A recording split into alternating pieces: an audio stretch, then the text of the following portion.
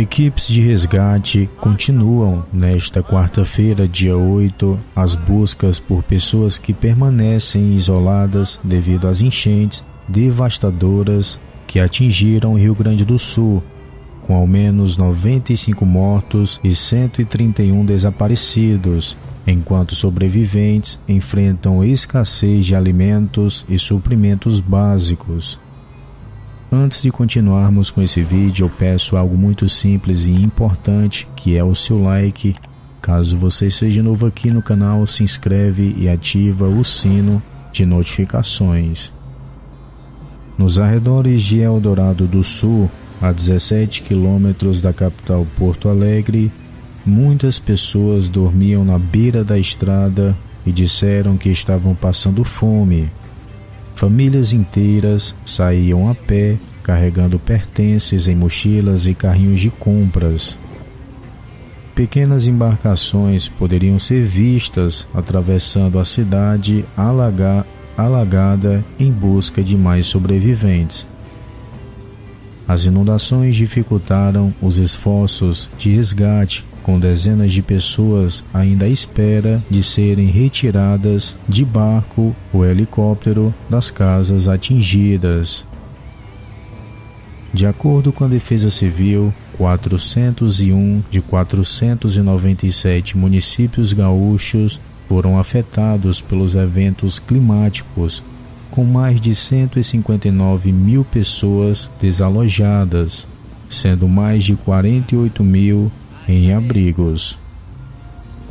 As chuvas provocam cheias em rios que alagaram completamente as cidades, além de destruírem estradas e pontes.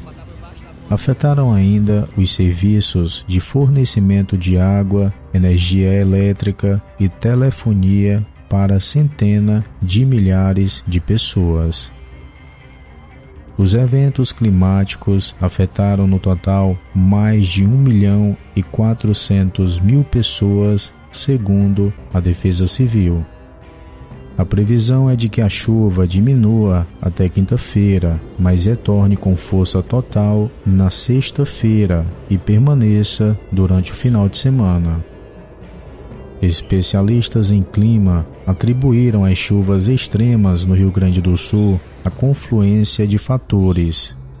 Uma onda de calor causada pelo fenômeno El Nino deste ano, que aquece as águas do Pacífico, traz chuvas para o sul do Brasil.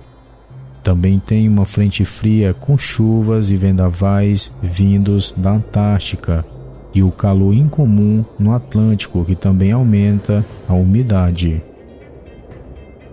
O aquecimento global agrava esses fenômenos e intensifica os efeitos entre esses sistemas, tornando o clima imprevisível, disse Marcelo, pesquisador do Instituto Nacional de Meteorologia. Em Porto Alegre, as ruas do centro ficaram submersas depois que o rio Guaíba transbordou com níveis recordes de água. Moradores encontraram prateleiras de supermercados vazias e postos de gasolina fechados, com lojas acionando a venda de água mineral.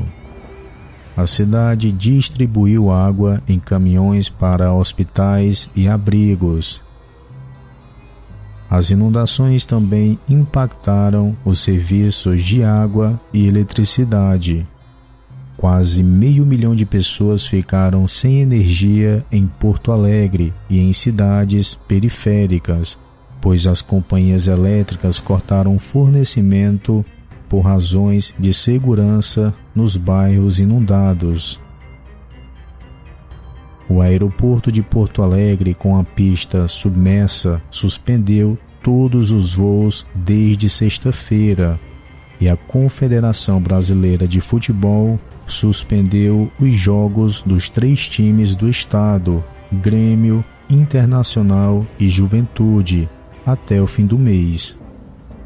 O presidente Luiz Inácio Lula da Silva disse no programa Bom Dia Presidente da última terça-feira no canal Gov que só será possível saber o tamanho dos estragos causados pelas chuvas quando as águas baixarem.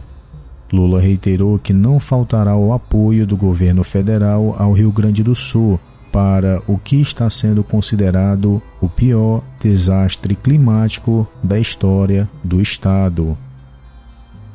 Essas são as últimas informações que a gente obteve aqui, tá? Do, do que vem acontecendo no Rio Grande do Sul. Em breve a gente estará aqui de volta com novas informações e atualizações. Deixe o seu comentário aqui abaixo se você, assim como eu, também torce, né? Para que tudo fique bem, para que não tenha mais vítimas desse pior momento já vista no estado do Rio Grande do Sul Deixe o comentário aqui abaixo e até o próximo vídeo.